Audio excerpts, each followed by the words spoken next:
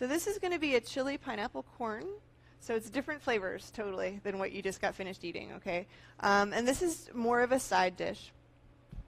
Um, but what I'm going to do, I kind of made this one up on the fly um, for dinner a couple weeks ago because, so my husband and I, who he has been here in this class before, um, neither of us are really big corn on the cob people.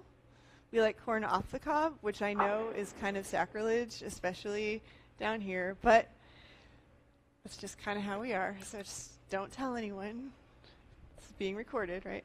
Um, so I usually try to cut corn off the cob for dinner for us.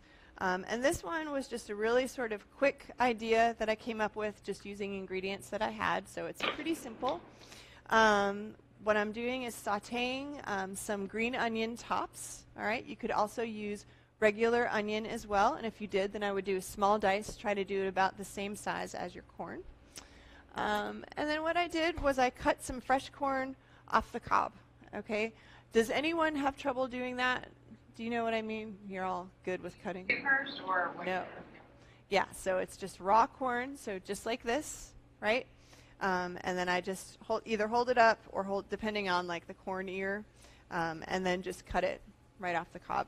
Now, if you are of a mind to, you can save the cobs, and again, stick them in the freezer. You can imagine what my freezer looks like, right?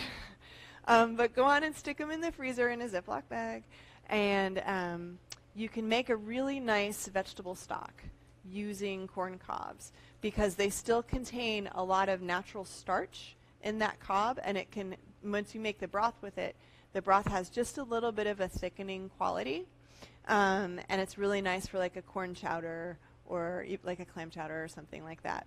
Um, even if you don't use any dairy, it'll still have just a little tiny bit of starchiness and a little bit of thickness because of that natural cornstarch. So don't toss the cobs.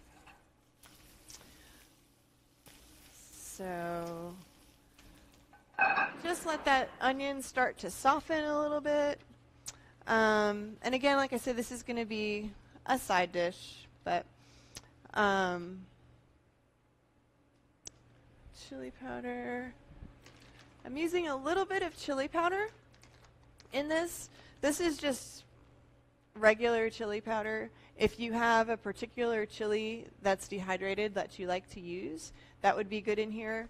Um, or if you wanted to use something like a smoked paprika or a crushed red pepper, that would also be good in here. But I'm just going to sort of use chili powder because I thought it went well with the pineapple juice. So I'm really just doing a pinch. And I'm adding that to the oil um, first because that allows the spices to kind of bloom. It releases the oils that are naturally present in ground spices, and you get a little bit of flavor uh, with that. The careful thing, though, you don't want it to burn. So it should really do that only until you can start to smell it. All right? And especially with pepper, you want to be careful because it's easy to gas yourself out, right? So now I'm just going to add the corn.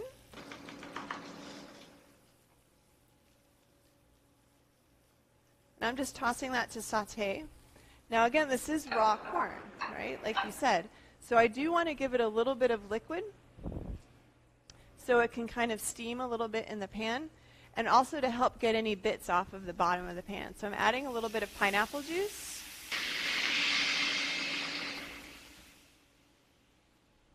And it's really just about a third of this can. If you get the smaller cans, it would be about half a can.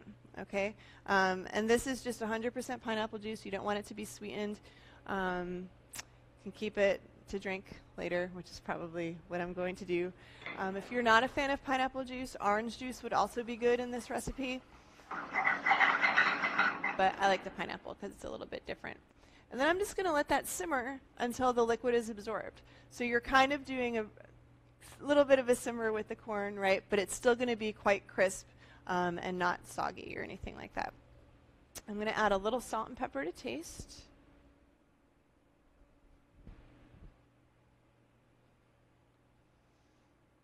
Do you guys always wonder what that means, like salt and pepper to taste? You're like, just tell me how much to put in.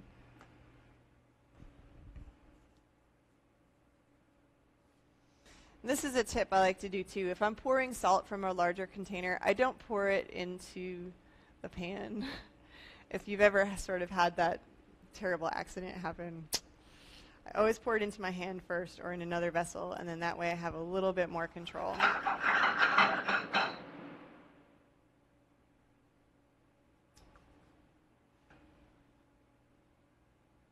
And if you are faced with a whole lot of corn at home too, um, remember you can cut it off the cob to um, store it that way, you know, either in the refrigerator or in the freezer. Um, there are ways that you can can corn as well. If you just can it plain, then you are going to need to use a pressure canner in order to create that safe environment for canning. But of course, you can do something like a pickled corn or a corn relish, and that will help preserve the harvest, um, and you won't have to have a pressure canner to do it. So, does anyone do any canning? Do you do some? What have you done so far? Uh, well, really, my husband does it. Oh, excellent. So it happens in my house. That's what I mean. Perfect. Uh, so he's done some tomatoes. We've done um, green tomato relish. Oh, nice. Before, which was really good. Yeah. Um, but we didn't. We just didn't get any green tomatoes this year. I've been like on the lookout, but it seems like might get some later in the season. I'm thinking. So. But, Sometimes we've gotten tons and been able to do like a whole big batch and then yeah. later. Yeah. Which is really nice. Um, and then we just do a lot of like jams. Right. Yeah, that's cool. If you ever do canning or if you're interested in canning and you want to get maybe a particular type of produce or if you want larger quantity, um, make sure you talk to your farmer, right? Sometimes they'll put this in the newsletter, you know, like, hey, we have tomatoes available, or hey, we have cabbage available if you want to make sauerkraut. Um, but if they don't tell you, ask, because chances are they have a lot of produce that they would love to sell you for a low price, right? Especially when it comes to that large quantity, okay? Um, and it is nice to be able to preserve the harvest even if it's not canning, even if it's freezing, or if it's you're putting something in dry storage, and then that way you're going to be able to increase your veggie intake, you know, extend the season a little bit. So, right, any other questions, comments? Where do you get bigger bags of spices from? Where do I get the bigger bags of spices yeah. from? Um, you can get them at the co-op, actually. Sell in bulk, or? Yeah. So you can get big bags like this at the co-op, but it's kind of hit and miss about like what you can find. Um, and by the co-op, I mean Good Foods, uh, the one on Southland Drive. You can order them online. That's a really good resource. My favorite online spice um, place is Penzeys, P-E-N-Z-E-Y-S. Um, they have a really good selection. The prices are good, and they're fresh. Um, so those, and you can buy different quantities. You can buy jars as small as I was showing you here, or you can buy bags. So those are probably the places that I go. If you just want a little bit of a spice and you're not sure if you like it or if you only need it for a particular recipe, then you can also go to Good Foods or other places like um, Whole Foods, for example, and just buy what you need. It's the coolest thing. You can literally buy like a tablespoon of something you know, and they put it in a little bag. Just make sure you label it because a lot of the ground up brown spices tend to look the same, and then you have no idea what's in your cabinet. So, all right. So that is that. Um, and again, this would be a nice side dish. You could combine it with some rice um, and maybe some beans if you wanted to make it more of a vegetarian main dish. You could also use this for stuffing peppers or zucchini. This is also uh, vegetarian and vegan as well, but you could certainly finish it with butter if you wanted to.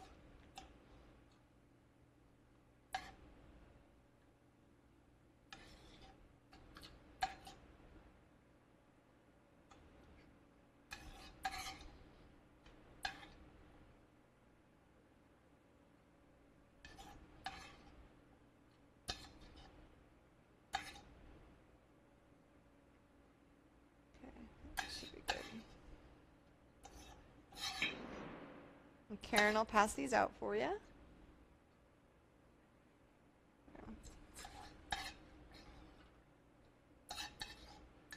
And you could certainly do this with either yellow or white corn, or if you have the bicolor corn, it would be good either way.